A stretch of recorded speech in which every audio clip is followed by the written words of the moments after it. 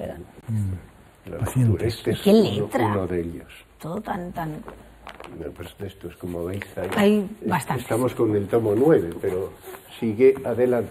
Y como Cristina está obsesionada por el bulario, pues vamos a, darle un bulario marchando de la orden de predicadores, donde están contenidos todas, las, de verdad. todas las decisiones de la orden. las decisiones de... Claro, o sea, la legislación, por así decirlo. Entonces está recogido lo que dicen los papas, lo que dicen... A ver. Pues es la primera vez que estoy ante un... Bulario de la orden de predicadores bajo el tiempo de Clemente XII, Clemente XII pontífice máximo, obra, escrito por el, o recopilado por el padre Tomás Ripoll, maestro general de la orden, ¿eh?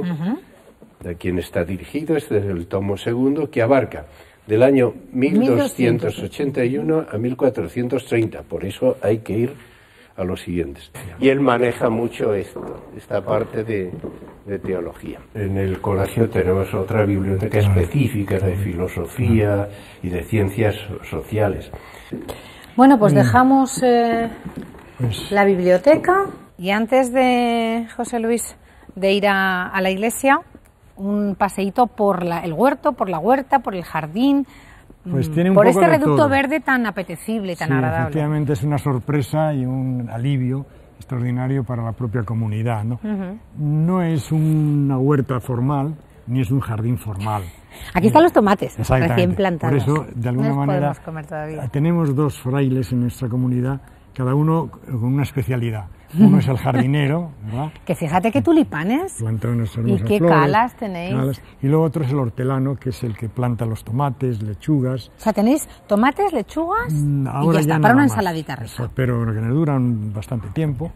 Y sobre todo, aparte de que para ellos es una actividad lúdica ¿eh? y de vocación, porque uno de ellos en concreto es hijo de hortelanos ah, navarros que tuvieron sus grandes huertas allí en la Rochapea, para toda la comunidad es un alivio esto, porque ya has visto cómo el convento pues está al estar construido, digamos Mira, es la biblioteca, ¿no? Sí, exacto. dentro, de un, dentro de un edificio, pues el tener aquí un desahogo, pues Hombre. Para tomar el sol simplemente, para desahogarte, estar leyendo dos horas en la habitación, te das una vuelta por aquí y es como si, como si sales al campo. Fíjate, aquí tenéis el, Museo de Y luego, efectivamente, esto ya es historia. Es una maravilla. Esto fue, fue un todo. Fue un todo, efectivamente. San Gregorio es una fundación del convento de San Pablo, era un único. Oye, José Luis, ¿y qué ventana es la tuya, la de tu celda? La mía da a la otra Ah, da al otro lado. La otra Tú no ves el huerto. No, ni el jardín. no, no. Y se nota, ¿eh? porque aquí, claro, los que dan a esta parte tienen... Son más calientes. son más calientes, tienen el sol cuando lo... Son preciosos. Y tiene Una maravilla. Yo no sé si te puedo regalar no, uno. No, no, no, no, no, no, es que a mí me, me gusta más verlo, no, porque además me dan una pena que se sí, mueran. Bueno, Ahí entonces, están entonces mantenemos. Pero, pero me acerco porque me gusta el, muchísimo. Mantenemos el mismo criterio que las, las flores son para que nazcan, crezcan, vivan y mueran en su tierra, ¿no? y que cada prior, ya sabes que dicen que uno de los males, de las enfermedades de los priores, es el mal de piedra. El mal de piedra. El mal de piedra, que cada prior que viene construye, tira lo que hizo el prior anterior y construye lo que a él le parece que tiene que haber. Ah, muy bien. Esto casi es como en el gobierno de la nación, ¿eh? más, o menos, que más cuando, o menos. Que cuando te hagan prior, lo que quieras cambiar, cámbialo pronto, porque si no luego te acostumbras tú a verlo ya hecho y ya, no, lo y ya no lo cambias. Pues este es nuestro pues jardín en, en comunicación, en comunicación con el museo, eh, que es otra de las grandes de los grandes atractivos de, la ciudad, que fue colegio, colegio de filosofía y de teología de los dominicos a partir del siglo XVI. Venga, pues vamos a, ahora sí a la iglesia. Muy bien, pues vamos hacia la iglesia. Padre, por fin la iglesia. Sí, ¿Eh? exactamente. de San Pablo. Pues este es el centro nuclear, valga la redundancia, donde nosotros proyectamos nuestra vocación sacerdotal y dominicana. ¿no? Y en esta iglesia tan espléndida, aunque un poco desnuda comparada con la fachada, pues lo principal, por señalarlo también en imagen, no solamente con la palabra, pues yo diría que nuestra vida comunitaria se centra en la liturgia como modo de oración. Este es el coro. ¿eh? Aquí rezamos y cantamos las horas litúrgicas y luego el eje de toda la, de toda la liturgia y de toda la pastoral es el altar donde se celebra la Eucaristía. Una perspectiva. Sí, diferente. Y claro, este, esto cuando, cuando está la iglesia llena de gente, pues te sientes también motivado, como justificando, digamos así, tu misión principal, que es la de ofrecer pues, el sacrificio de la misa, ¿eh? la Eucaristía, en la que das el pan de la Eucaristía y la palabra. La Ahora se confiesa menos la gente. Menos, sí, ciertamente.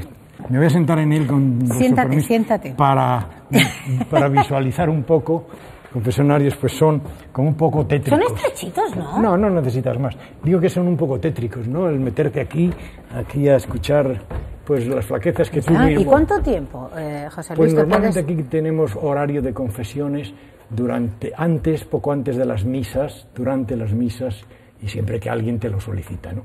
Vamos a, admirar, una vez más. Ah, eh, sí una de las eh, es el primer yo creo el primer Cristo yacente tenéis dos aquí en la iglesia aquí tenemos dos bueno tú sabes que Gregorio Fernández eh, creó escuela claro claro claro. Pero esta talla es especialmente valiosa de Gregorio Fernández, de Gregorio Fernández que, y nosotros tenemos el privilegio de tener esta que es nuestra propia de esta de esta iglesia. Y que os han pedido, ¿no? Eh, Esto estuvo también cedido mm, durante un tiempo a una de las cofradías de aquí de Valladolid, mientras les arreglaban a ellos la suya, pero nos recomendaron desde, la, desde el Centro de Restauración de Simancas que esta no es una imagen profesional y que todo lo que sea moverla, pues corre riesgos de deterioro. Nos lo han pedido de varios museos, incluso del extranjero, de Estados Unidos, de Boston en particular. Nos lo han y por la misma razón. Y por la misma habéis razón. ¿verdad? ¿Tenéis otro Cristo? Otro Cristo yacente, que este le tenemos de préstamo como el, el, crucifijo de Juan de Juni, que preside el presbiterio, ¿verdad? Y este Cristo yacente es préstamo de las dominicas del convento de Santa Catalina, que por unas razones circunstanciales están ahora fuera de su monasterio, están restaurándolo, y el mejor lugar, ciertamente, para tener un, yacente o una imagen que nos han prestado varias, pues es esta iglesia. Y este lo tenemos hace muy poco tiempo y creo que le hemos encontrado pues el sitio adecuado. Y decías que tenías un coro, José Sí, hemos formado un coro aquí, de, no de profesionales del canto, sino personas que vienen a, rezar, a participar y que quieren eso, expresar su oración eh, cantando. Y nosotros formamos un coro que yo tengo el capricho de que, de que me acompañes para cerrar nuestra a ver, entrevista. A ver, ¿Me acompañas a cantar un.? ¿Mejor de este lado o aquel? ¿O aquí, me tú ponte en este lado, si no te este. importa. Sí, sí, donde tú me digas que. Oye, esto es complicadísimo, ¿no? Tantos botones. Bueno, también es que hay que lucir, lucirlos un poco, ¿no? Corneto, Mr. Mira, trompeta. Esta canción es de Bob Dylan. Ah, sí. Que es muy. Eh, Uy, que me veo yo. Me parece que se llama. Cada vez peor. es que me pasa a mí también. Sí. Que que es una canción, no me acuerdo cómo se titula, algo del viento, sopla el viento o algo así, y que la iglesia, pues alguien, algún autor, la ha, puesto, ha puesto su, musiquilla, ¿no? Yo voy a cantarte la primera estrofa imaginando que... Tú, tú, tú, yo te acompaño en la estrofilla un poco. A ver, venga, para que calentemos. Canto un poquito. Venga. Dice, dice así la canción. En este mundo que Cristo nos da hacemos la ofrenda del pan, el pan de nuestro trabajo sin fin y el vino de nuestro cantar. Y ahora estrofa. Saber que vendrás, saber que estarás partiendo a los pobres el pan saber que vendrás, saber que estarás partiendo a los pobres tu pan. Ah, pues no hemos hecho mala pareja. No hemos hecho mal, ¿verdad? Eso que no ha habido ensayo pues, previo. Exactamente. Bueno, pues esto lo hacemos habitualmente con un coro que ya digo, no solamente se ponen, solemniza, se pone aquí en torno al altar con un director que, les dirige el coro y participan de una manera pues más viva y animan también a que el pueblo fiel pues eso, rece cantando. O sea, participan eh, eh, ellos y hacen participar Exactamente, motivan a la gente, se nota. Cuando hay el coro, pues el pueblo responde y participa y lo, lo siente y lo vive más. Esta es nuestra oferta de, de servicio. Qué bueno, José Luis, haber estado contigo, de verdad. Bueno, pues para mí que os voy a decir, gozada, nos has tratado de maravilla, nos hemos acercado a esos quehaceres tuyos diarios, a cuál es tu actividad, a cómo te encuentras en este momento. Hemos repasado y recordado muchas de las vivencias y de, tu pues, bagaje. Yo lo agradezco de verdad porque... Y además con mucho cariño, ¿eh? Por ambas partes, eso... Ciertamente, porque yo valoro mucho, claro, el tema medios, el tema radio y televisión, y sé que es un privilegio el poder asomarse a tantos hogares, a tantas personas, ¿no? Es un privilegio y, un poco motivo de, temor y temblor, ¿no?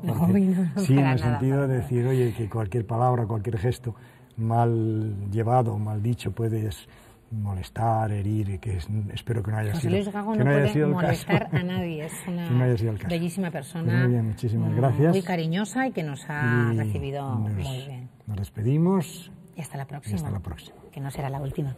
Gracias, José Luis. Gracias, Cristina, y a todo el equipo que nos ha acompañado muy amable y pacientemente. Gracias.